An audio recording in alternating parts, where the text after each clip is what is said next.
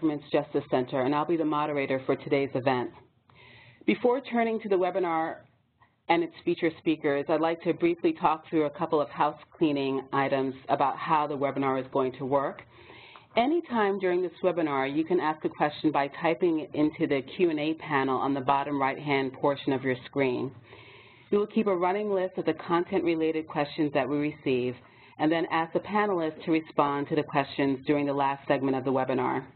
We'll do our best to get through as many questions as possible. If you encounter technical or audio problems during this webinar, please call WebEx technical support at 1-866-229-3239. Please understand that there are some technical issues you may not be able to resolve. For this reason, we are recording this event and will post it on our website.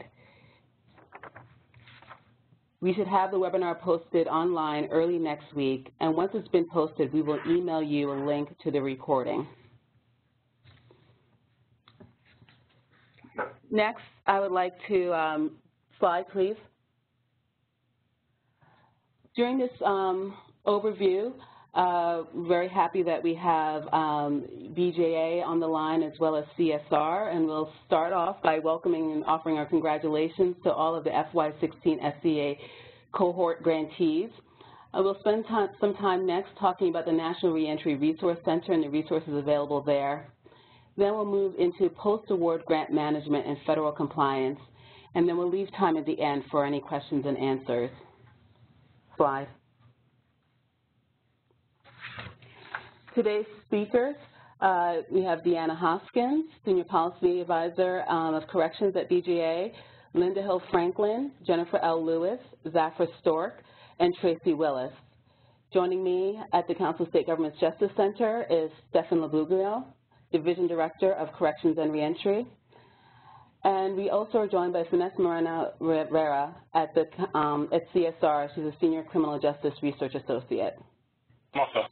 Next, I will turn it over to Deanna Hoskins. Deanna?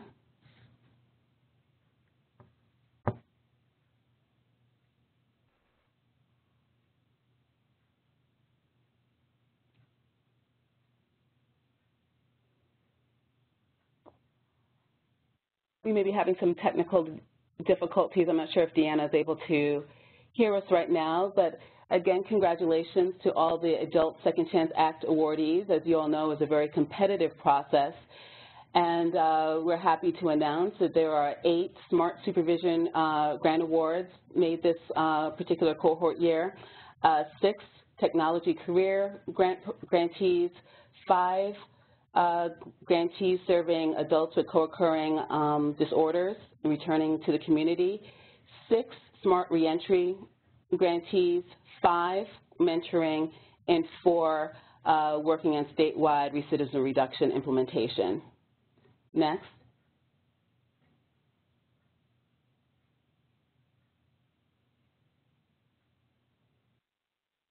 I'm not sure if Deanna's able to hear me yet.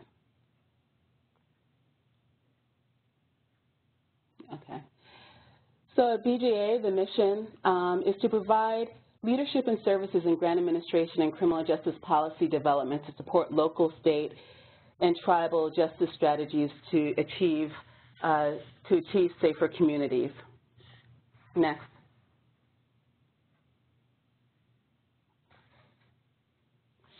BJ will be um, very involved throughout the process of your grant program, um, and there are a number of expectations that all grantees should be aware of. Um, in your proposal, you've proposed a certain number of people that you uh, intend to serve, and they and the expectations that you would uh, serve the exact number of people or more.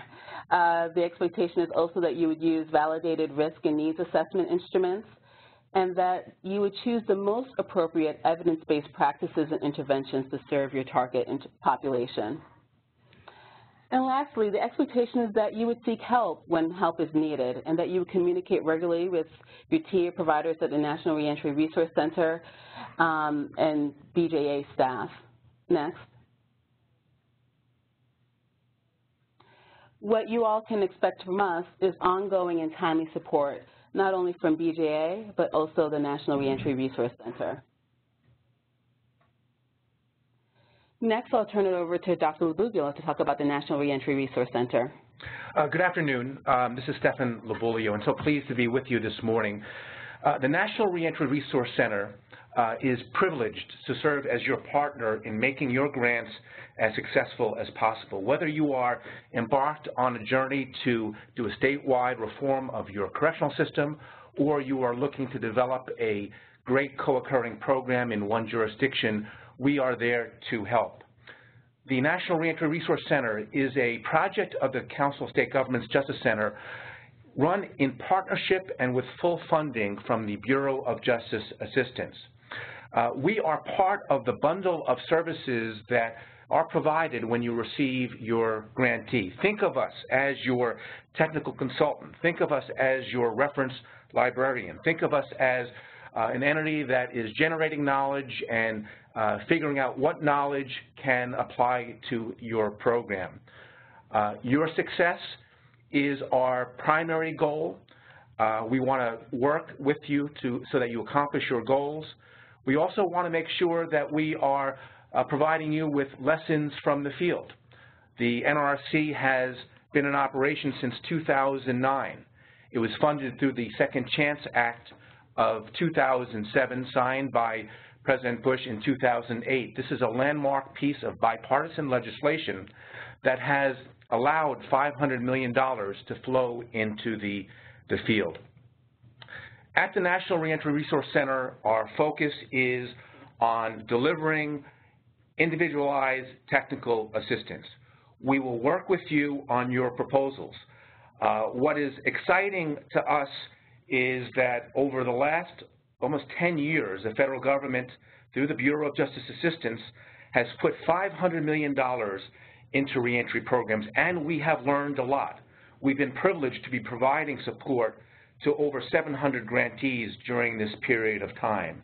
Additionally, in our work, we advanced reentry, by training, uh, uh, by providing distance learning, uh, by bringing together uh, practitioners and policymakers and, and, individuals directly impacted by the justice system at uh, convenings. We provide a one-stop place for web-based resources that can assist you accomplish your goals. And, and finally, we are looking to develop evidence-based practices and piloting those in the field. Next. So a little bit about our website.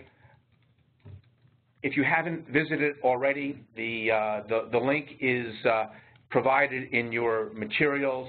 Uh, this slide shows that uh, a way to subscribe to a newsletter that is emailed to over 13,000 subscribers uh, each month. And our goal is to provide timely resources to let the field know what is happening in reentry, both with uh, highlights of existing projects going on, new resources, webinars, and, and news updates.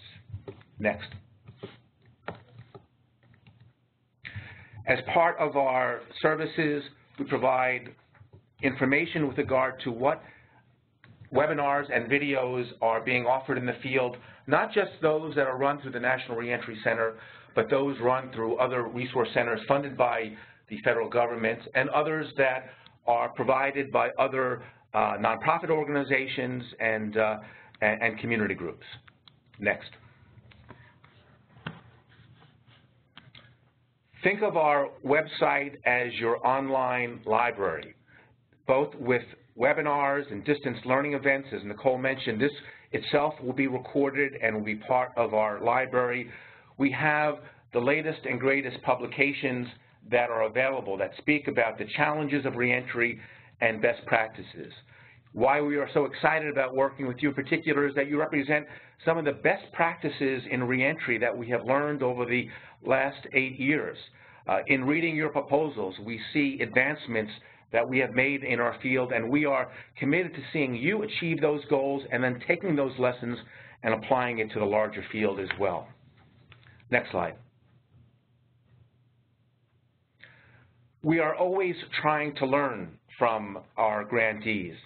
Uh, as mentioned before, over 700 grantees have received funds from the Second Chance Act since 2009. There is incredible work being done.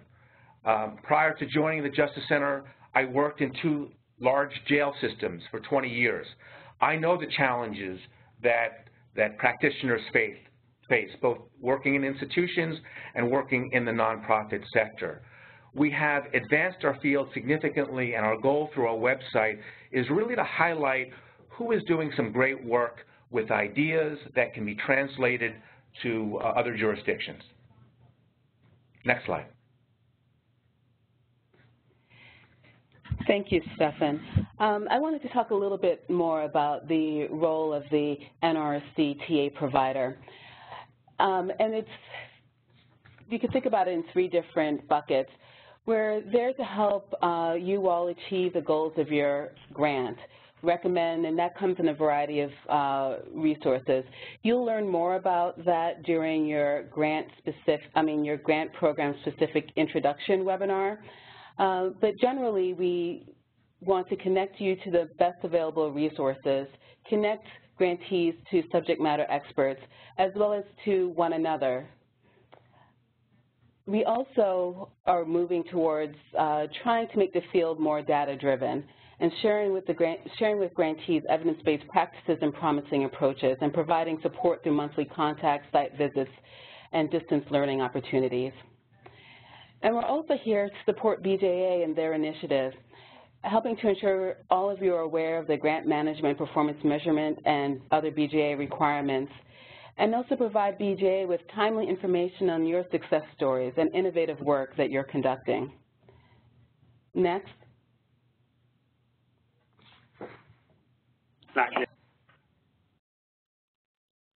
Great. Um, in terms of our technical assistance timeline, uh, you should have heard by now from your technical assistance TA provider to set up your first call. And then later on this month in December, you will be receiving your planning and implementation guide that will help walk you through the planning process um, during the first year of your grant award. Next.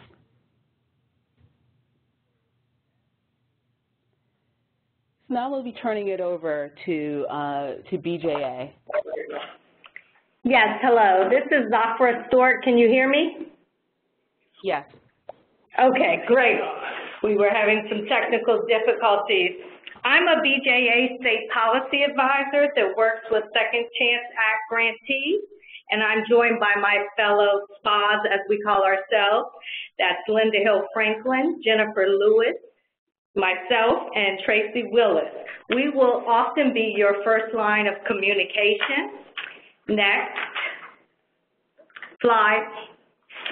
Today we are going to provide you with a general overview of grant management tools, requirements, and regulations as they apply to your award. We will cover the language we'll be using with you and how talk about how we can assist you and provide you with guidance to deliver good programs that comply with federal requirements.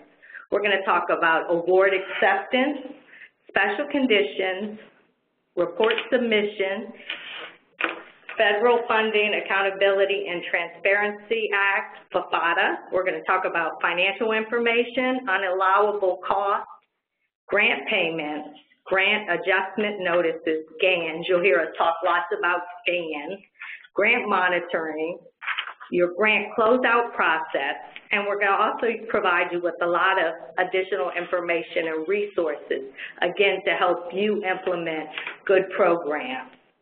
Slide. One of the first steps that many of you have done was to accept your award. And in doing this, you assign a financial point of contact in GMS. You first make sure that you check your contact that's listed in GMS. This is really important because whoever you have listed in contact is who we as grant managers know who to contact. So if you have the wrong person, then you miss out on valuable information. and you have to make sure that it's the appropriate email address and phone number. Again, we have lots of grants and lots of awards, so we need this information to be updated. You are to sign and date your award letter and initial the special conditions. We'll talk more on special conditions as we move forward. You're going to email your acceptance document. Again, most of you have already done this and you will in turn receive a packet that has your grant ID, your PIN number, and information about accessing payments in the GPRS system. Slide. This is what your award document looks like. Again, all of you have probably seen this. You signed it. You want your authorizing official to sign. Number 17. It, uh, this also shows why it's important to keep the right contacts the person who is listed as your authorizing official has to be the person that signs this document. Slide. Special conditions, and you're going to hear us as grant managers and SPAs talk to you a lot about your special conditions. These are terms and conditions of your award. All awards include standard special conditions. Some special conditions are program specific and certain special conditions may be added specifically to an individual award based on the review of the application and if award information is needed and was missing. Slide. The special conditions page is also listed and included in your award packet, and this is vital that you read these special conditions and get to know what information is there and what your award requirements are that you will be held accountable to. So when you get your award document, you want to look at your special conditions and really familiar, familiarize yourself with all the conditions and requirements of your award. Slide. Some examples of special conditions are all, all awards have standard special conditions concerning compliance compliance with the DOJ grant financial guide.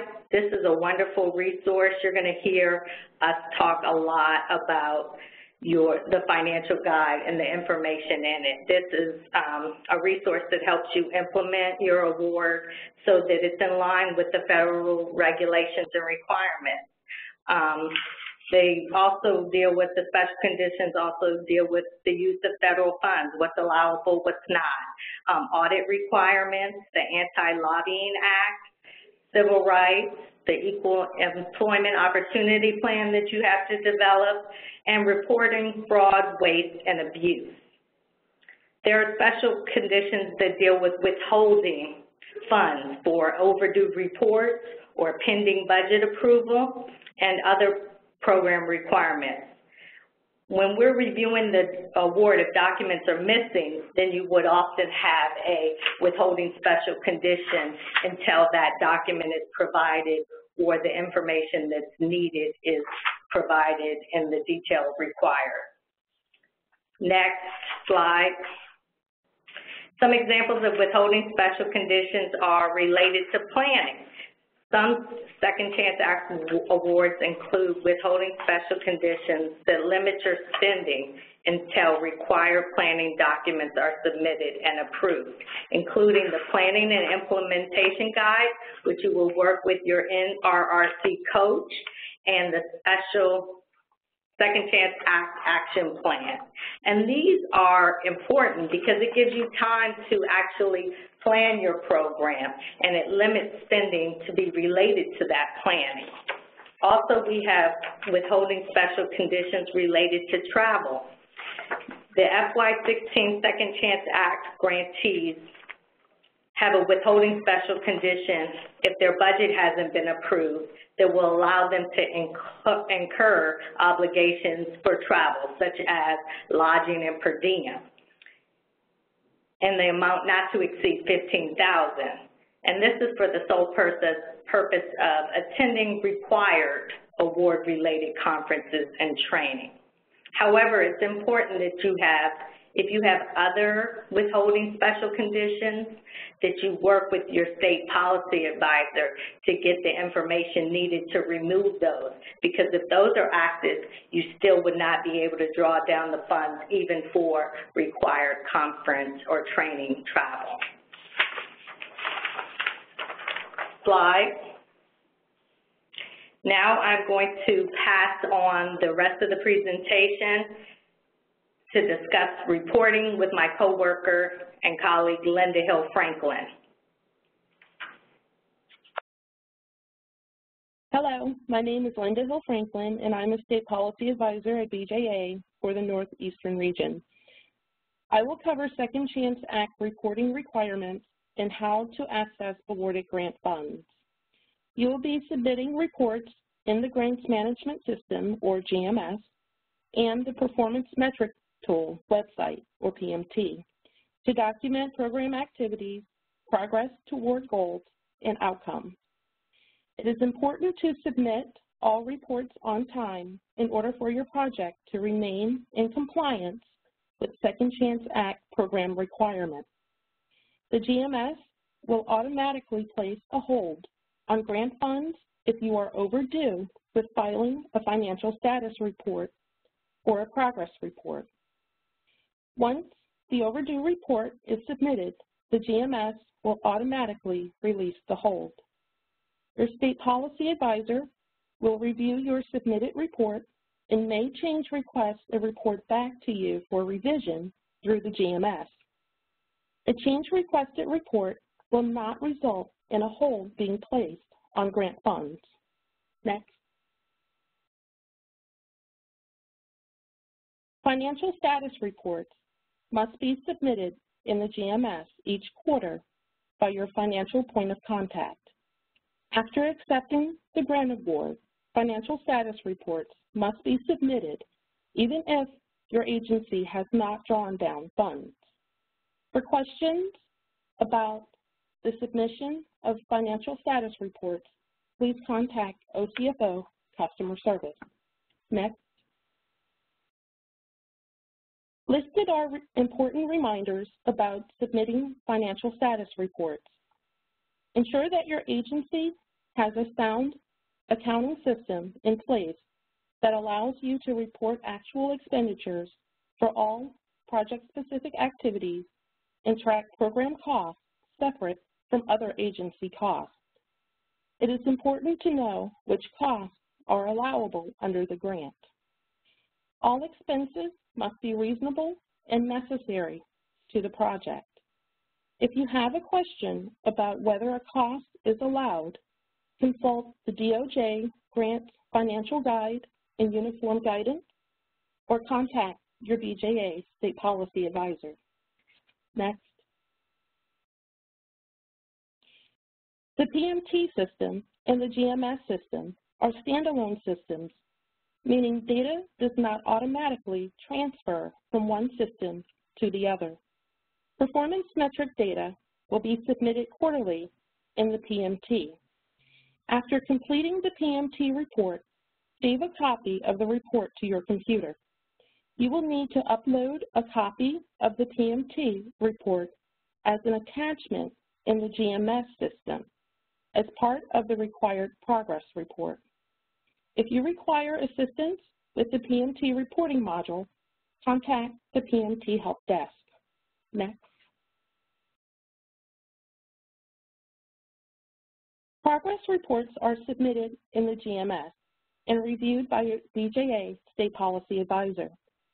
If a revision is needed, the GMS will automatically generate an email to the point of contact listed in the GMS. Ensure that your agency's point of contact information is up to date in the GMS at all times and check the GMS often for important communications from BJA. Next. If your agency receives $25,000 or more and sub-award $25,000 or more, reporting is required in the FFATA sub-award reporting system. Assistance with submitting the report is available through user guides, FAQs, and online demos at fsrs.gov. Next.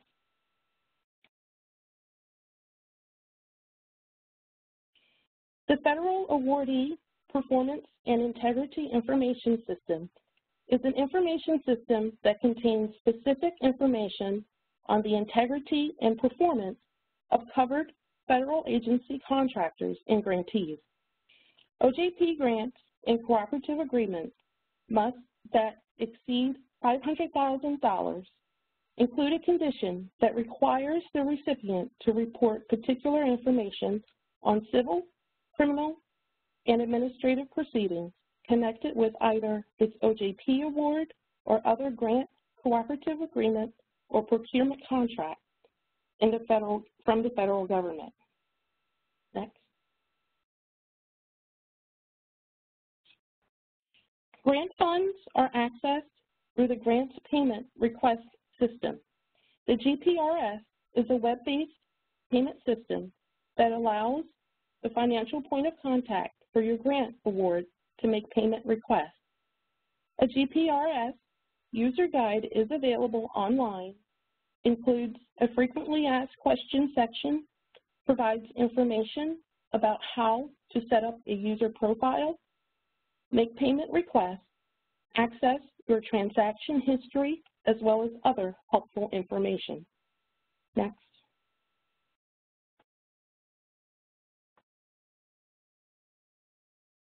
Payment requests can be submitted at any time. However, if your has a delinquent report, a hold will be placed on your account, and you will not be able to submit a payment request. Once the outstanding report has been submitted, the hold will be removed from your account. You can request payment for an individual award using the Create Payment Request form.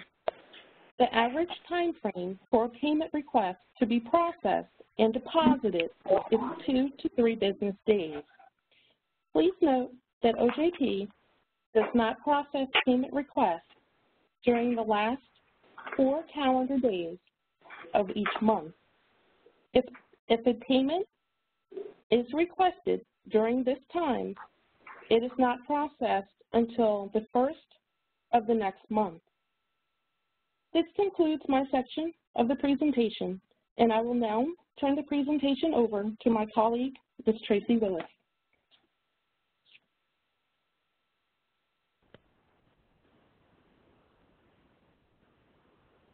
within BJA, and we're going to cover financial compliance and GANs. Okay, recipients agree to read and comply with the financial and administrative requirements set forth in the current edition of the D, DOJ Grant Financial Guide. Um, a lot of grantees either bookmark it on their computer, and some actually print off the entire financial guide. It's your choice, but it is imperative that you become very familiar with the information that's in the guide. To be allowable under federal awards, grants must be reasonable and necessary to the project. In addition, they must comply with funding statute requirements. Grantees need to refer to their program guides, award special conditions, and the approved budget. Next. OJP offers a grant financial management online training, and this is a 24-module training emphasizing the basics of federal grant management, and is designed for those responsible for the financial administration of discretionary and or formula grants and can help avoid questioned or unreliable costs. This particular training is required for all POCs and FPOCs within 120 days of award acceptance. To register, you can go to the website that's listed. The required training is also offered in an in-person classroom format, and for more information, please log into the website that's listed. Next. These are some resources for financial information, the 2015 OJP Financial Guide, the Office of Management and Budget Uniform Guidance, and then OJP has a website that offers updates on updates and FAQs on the uniform guidance. Next. The following are unallowable costs, land acquisition, lobbying, fundraising, compensation and travel for federal employees, state and local taxes, bonuses or commissions, prohibited or controlled equipment, corporate formation, costs incurred outside the project period, entertainment and food and beverage, and then there are those program-specific unallowable costs. Next page. In addition to the unallowable costs in the DOJ 2015 Financial Guide, Second Chance Act funds may not be used for the following. Prizes, rewards, entertainment, tickets, or any type of monetary incentive, client stipends, gift cards, vehicles, and costs that do not support approved project activities. Next. As recipient or subrecipient, you must conduct all procurement transactions in a manner providing full and open competition consistent with the procurement standards in the uniform guidance. This requirement holds whether procurement transactions are negotiated or competitively bid and without regard to dollar value. When determining whether an entity is a subrecipient or a contractor, the legal document executed between the recipient and the entity receiving federal award funds from the recipient is not the driving determinant. The substance of the activity that has been contracted or subawarded will be the major factor considered. If you delegate program activities to another entity, that delegation will generally be considered a subaward. On the other hand, if you purchase or procure goods or services from another entity to carry out the project or program under a federal award, that activity will generally be considered a contract. Next. Monitoring subrecipients. The direct recipient is responsible for monitoring the subrecipient and making certain that all fiscal and programmatic responsibilities are fulfilled, including compliance with federal rules and regulations. There are three key components to monitoring subrecipients successfully. A subrecipient agreement that specifies tasks and reporting requirements as well as possible noncompliant penalties and termination procedures. A monitoring plan that is detailed in the subaward document and implemented by the direct recipient as planned. For subrecipients with federal expenditures over $750,000 annually, compliance with the audit requirements. Next. And this is a particular subject that we as grant managers and you as grantees will definitely um, be talking a lot about, and those are those grant adjustment notices. Again, it's used to request project changes and or corrections. Once OJP makes a decision regarding the proposed changes, the grantee is notified by, G, by GMS via email. And again, as my colleagues have stated before, it is imperative that you have a valid email address in GMS so that you can get your information in a timely manner. And It is also important that you have more than one email address. So the FO, the authorized rep, the financial point of contact, and the program contact should be three different emails just in case someone misses an email. GANs are submitted and approved through GMS. GAN types include budget modifications, change of scope, project period, point of contact information, removal of special conditions, sole source, costs requiring prior approvals. GANs will not be approved if the grantee is delinquent on financial or programmatic reporting. And again, as stated before, if you are delinquent, either financial or programmatic, the system automatically freezes your funds. Next. Award recipients must verify their point of contact, their financial point of contact, and their authorized rep contact information in GMS, including telephone numbers and email addresses. If any information is incorrect or has changed, a GAN must be submitted to document the changes. Next, program GAN extension, project GAN extension. May not exceed 12 months past the original end date unless there are extraordinary circumstances.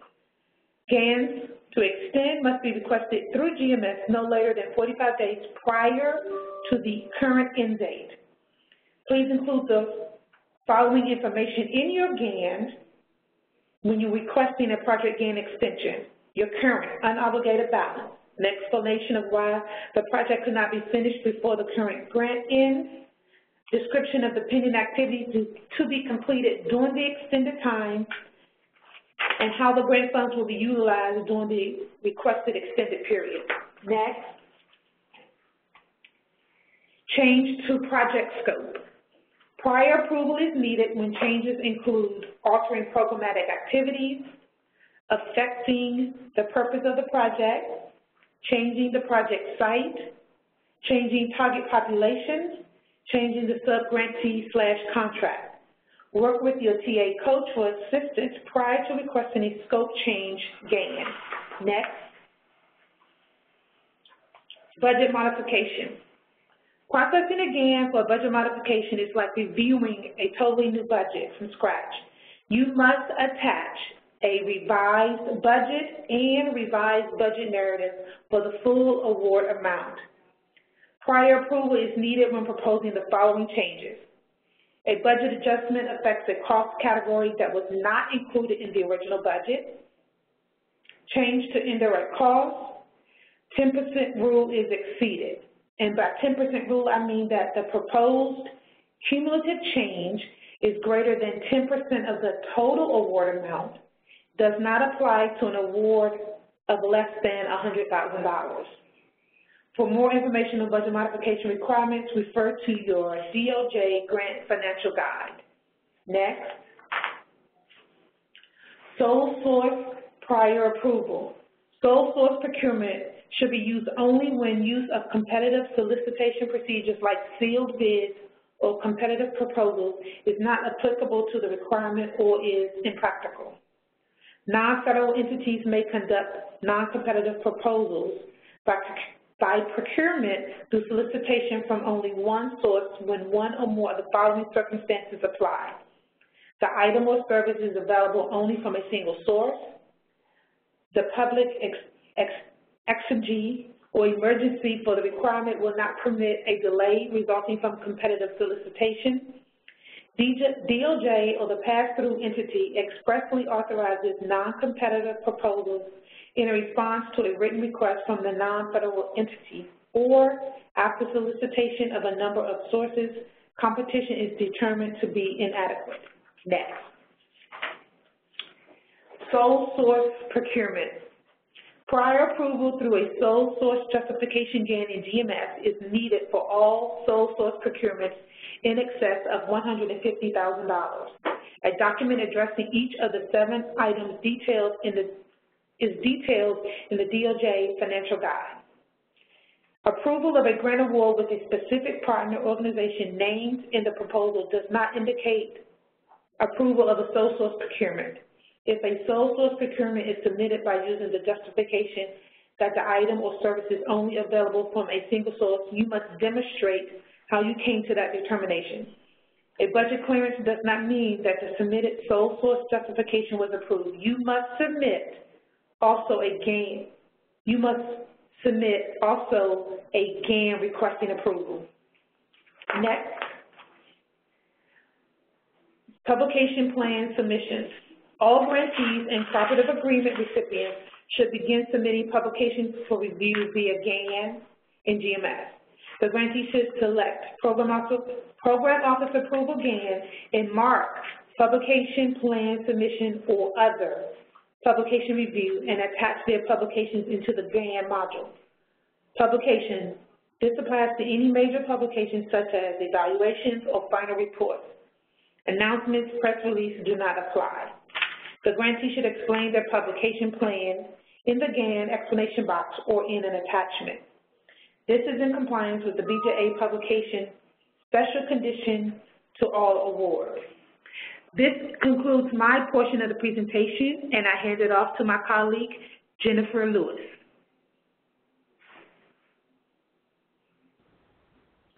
Hello, everyone. I'm Jennifer Lewis. I'm the BJA State Policy Advisor for Second Chance West Region. I'll begin discussing BJA compliance monitoring. BJA will monitor grant recipients to ensure they are doing what was proposed and approved, meeting programmatic, administrative, and fiscal requirements, identifying and resolving problems and or issues, and receiving needed training and guidance. Next slide. Common audit findings.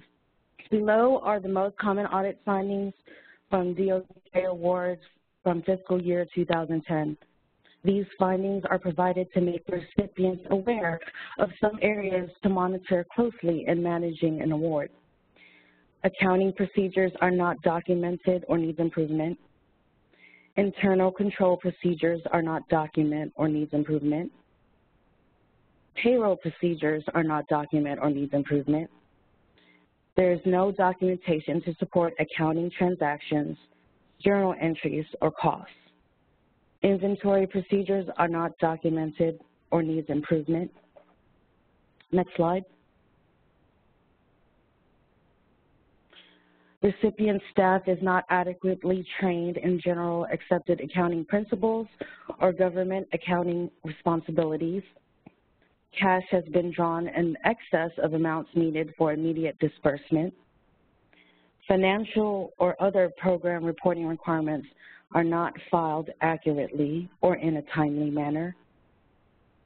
The federal financial report amounts do not reconcile to the recipient's accounting system, and subrecipient monitoring is not being conducted. Next slide, please. Grant closeout. We suggest that uh, recipients should start the closeout process as soon as the project is completed and all federal and matching funds, if applicable, have been spent. There are two types of closeouts.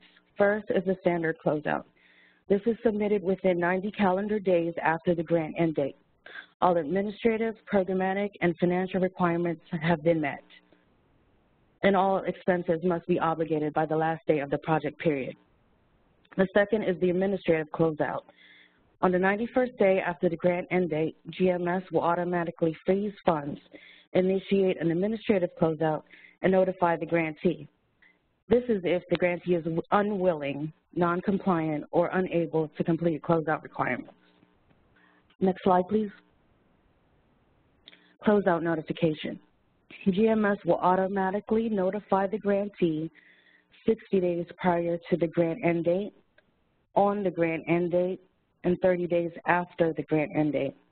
Notifications will be sent to the point of contact, financial point of contact, and the authorizing official. So again, it's important to make sure that these contacts in GMS are up to date or submit a change of contact again in GMS if your contact has changed. Next slide. Closeout components. There are five main components for closeout. First is the final progress report, and this includes a final PMT report that must be attached in GMS. Court and criminal involvement data must be completed in the final PMT report. The second is final financial status report, or SF425. Third, special condition compliance. Fourth, financial reconciliation. And lastly, programmatic requirement certifications. Please contact your BJA State Policy Advisor if you're having any questions regarding these components. Uh, for, for additional information, we provided our main contact number along with our website and a list of state policy advisors for the program office and FAQs about BJA funding. Next slide. Other important links that may be helpful is the BJA Grant Writing and Management Academy. This includes training modules for federal funding, strategic planning, and budget. The grants.gov website link, the the grants management system links and training tools, along with the help desk numbers, and OJP online resources. This includes Grants 101 and Funding Resource Center, and OJP standard forms and instructions. Next slide. Some standard forms, these include indirect cost rate agreements, disclosure of lobbying activities, accounting system and financial capability questionnaire, and standard assurances. Next slide. This page is uh, our contact information. In order to address individual questions regarding your specific award and stay within the time constraints, please email your questions to your state policy advisor directly. This concludes the BJA section of the presentation, and now I will turn it over to Vanessa from CSR.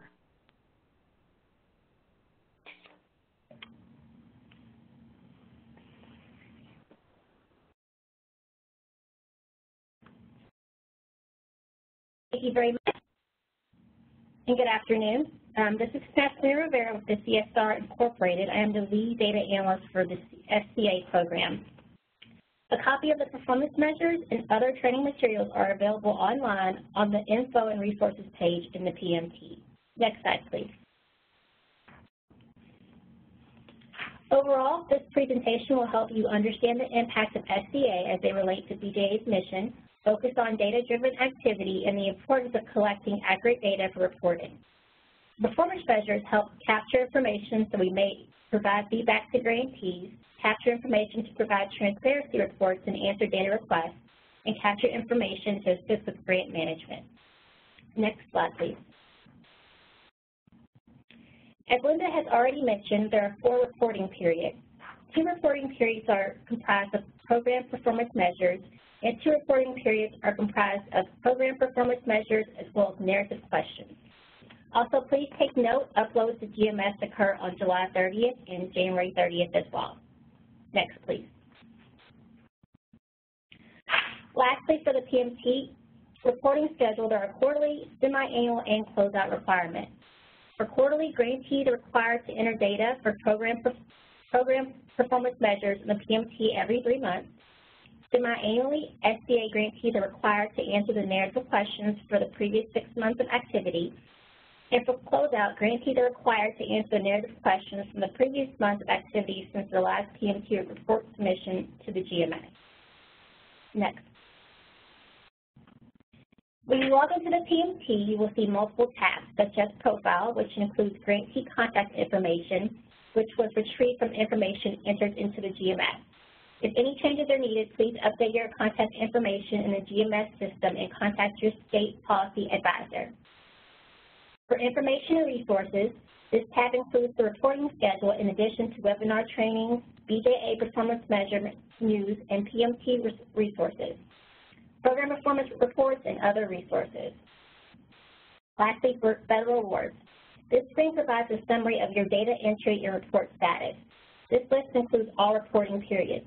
Thus, general award information includes data entry, as previously mentioned, and creating reports is also listed under this tab. After each submission of data for the reporting period, a report should be created. In addition, when your GMS report is due, you must create an aggregate GMS report to submit to your state policy advisor through the GMS system. Creating a report can be completed by going to the Reports tab. Next slide, please. SCA program. The Second Chance Act of 2007, administered by BJA, was enacted to break the cycle of recidivism, improve public safety, and help state, local, and tribal government agencies and community organizations respond to the rising populations of formerly incarcerated individuals who return to their communities. There are five active SCA programs in the performance measurement tool. These include targeting offenders with co-occurring substance abuse and mental health programs, family-based prisoner substance abuse treatment program, the Adult Mentoring Program, Adult Offender Reentry Demonstration Grant Program, as well as Technology Career Programs. Although all of the programs have different goals and objectives, all programs share and consist of identical questions. Next slide, please.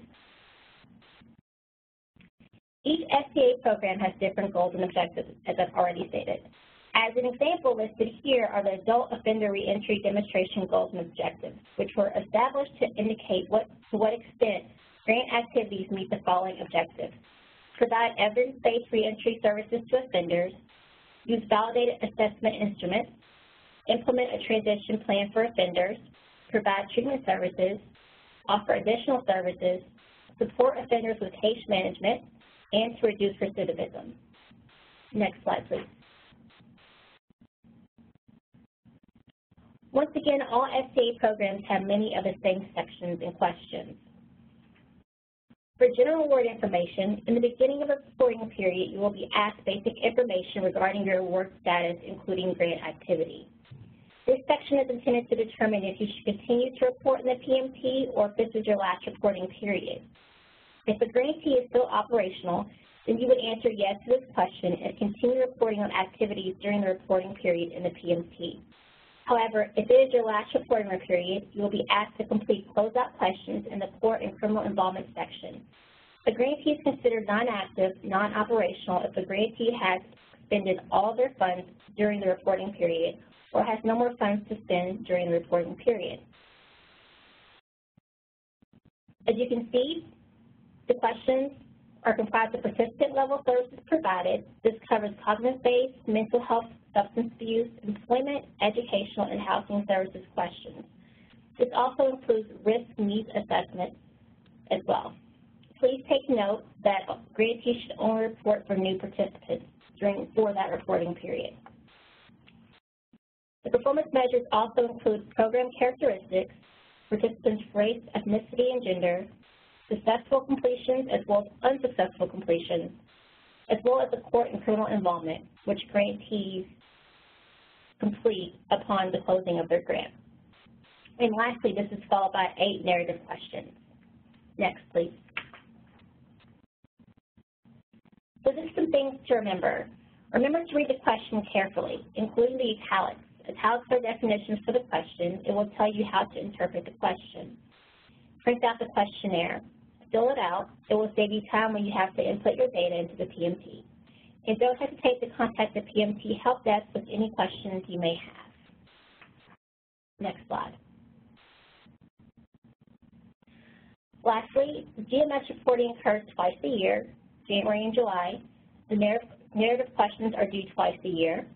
The first reporting period for SCA fiscal year 2016 grant started on October 1st, 2016, the data entry on activities that occurred during the October and December 2016 reporting period will be open for reporting in the PMT on or around January 1st, 2017, and will be due January 30th, 2017. Next slide, please.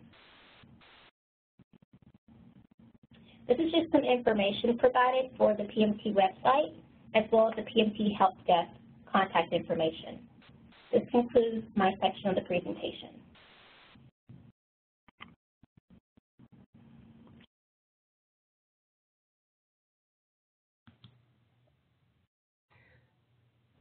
Great. Well, thank you, everyone. We haven't uh, received any questions yet. I know we're coming down to the end of the of the webinar. If you have any questions, feel, please feel free to put them into the chat box in the bottom right-hand corner of your screen. And I do want to remind you that you feel free to reach out to your technical assistance provider. Uh, they are competent and eager and willing to assist you. Um, there's no wrong door. If there's a question related to um, grant management or PMT, we'll definitely make sure that it's directed to the right person and vice versa. Um, many of you have asked about the webinar. These slides will be available at www.nationalreentryresourcecenter.org. After you exit the webinar, a brief survey will appear on your screen. By answering the questions in the survey, you'll be helping the Resource Center improve on the services that we offer. We'd greatly appreciate if you take a few minutes to complete the survey. We'll e also email you a link uh, recording to the presentation. So if you register for the webinar, which you've had, you'll also get this email link. And it will link you to the PDF of the PowerPoint slides. and you should get that early next week. Thank you all for joining us.